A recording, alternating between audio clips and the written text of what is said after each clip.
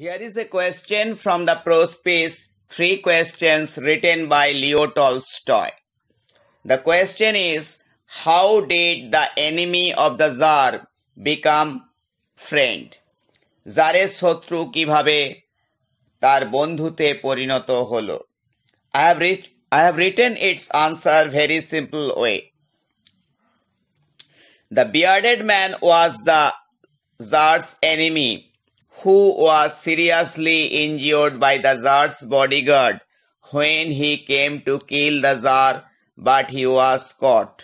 দাড়িওয়ালা ব্যক্তিটি ছিল জারের শত্রু যে মারাত্মকভাবে আঘাত পেয়েছিল জারের দেহরক্ষীর দ্বারা যখন সে জারকে হত্যা করতে এসেছিল কিন্তু সে ধরা পড়ে গিয়েছিল the injured man entered running into the hermit's garden to save his life আহত ব্যক্তিটি দৌড়ে এসে সন্ন্যাসীর বাগানে প্রবেশ করেছিল তার জীবন বাঁচাতে The Tsar nursed him by washing his wound and bandaged it with his handkerchief and hermit's towel very carefully to save his life.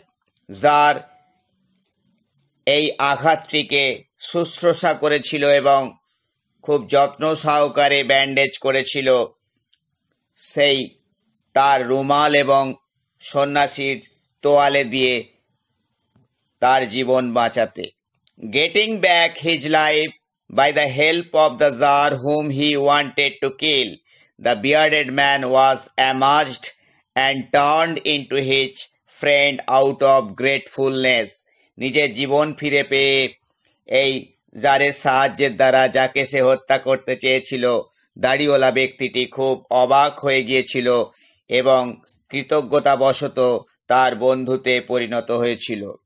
This is the answer I have written to this question I hope you have understood it very clearly and now you are able to write it in your own words. Thanking you for listening to me in this short class. Tata bye.